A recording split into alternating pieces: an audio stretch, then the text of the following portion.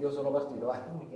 Perfetto, allora Nicola Ricci, oggi un appuntamento della CGL, CGL per esprimere un senso di profondo dissenso e disagio nei confronti delle manovre politiche a discapito della cultura che colpiscono forte il San Carlo dove siamo oggi tra gli altri. Sì, è una manovra inadeguata, ci stiamo preparando allo sciopero del 29 perché è una manovra solo tagli e questo settore, soprattutto Fondazione San Carlo, rischia di pagare il prezzo più pesante. La Campania pagherà un prezzo uguale nella sanità, nelle attività produttive. È evidente che questo governo è cieco, non vuole ascoltare i lavoratori, le lavoratrici e pensa che ci sia un altro paese. Abbiamo un'occupazione che cresce, ma un'occupazione fatta di un lavoro di poca qualità, precaria e soprattutto il settore della cultura deve essere considerato un settore strategico al pari dei, dei settori come produttivi, manifatturieri, della sanità e dell'istruzione. La cultura non può essere vista come un optional.